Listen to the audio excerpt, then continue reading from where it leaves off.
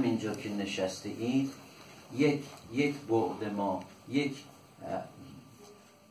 ساحت وجودی ما در این عالم ناسود در عالم ملک در عالم زمین همین است. ولی همه بعد ما این نیست. ما ابعاد دیگری داریم که از اینجا در تا عالم ملکوت کشیده شده است.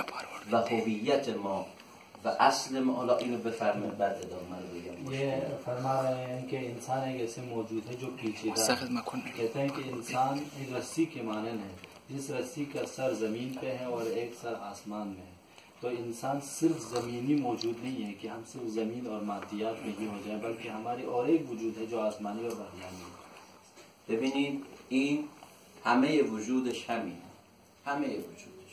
به آسمان متصل نیست. ولی انسان همه وجودش این نیست. ما همین الان که اینجاییم به آسمان متصلیم و چیزی به ذهنمون میاد چیزی به دلمون میفته که اصلا در زمین او رو حس نکردیم. با چیزی برخورد می‌کنیم احساسی پیدا می‌کنیم که در زمین تجربه نکردیم. در خواب چیزهایی رو می‌بینیم که در بیداری تجربه نکردیم. از همه وجود ما این بدن نیست. وجود اصلی ما حقیقت ما اون بعد آسمانی ماست.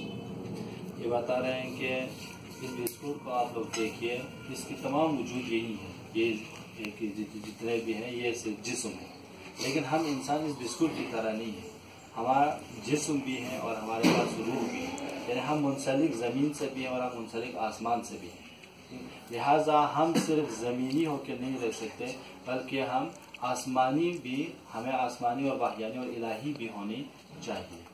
انسان میتونه